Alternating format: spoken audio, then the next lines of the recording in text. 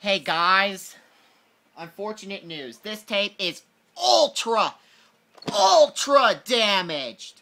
Longtime companion, Vidmark. I tried going to the end credits. I couldn't. Literally, I could not.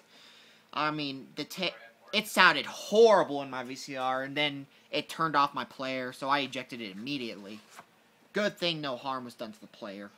It made some loud noises for a couple seconds, though. Before I on the next tape. And it also did that. It did that a lot. It's I I knew something sounded a little weird when I first tested it. It sounded a little bit uh weird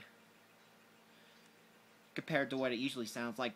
It wasn't like what you're hearing right now. It was actually really loud. It was really loud and high pitched.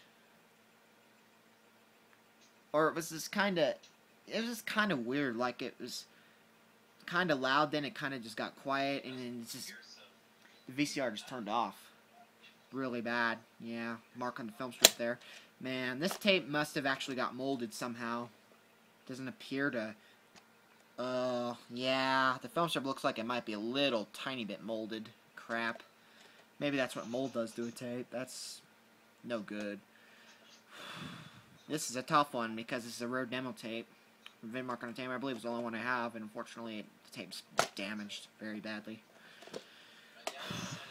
Probably still keep it because it looks cool, but I'm not going to test this tape because it's not worth losing a VCR over it in case that's the case.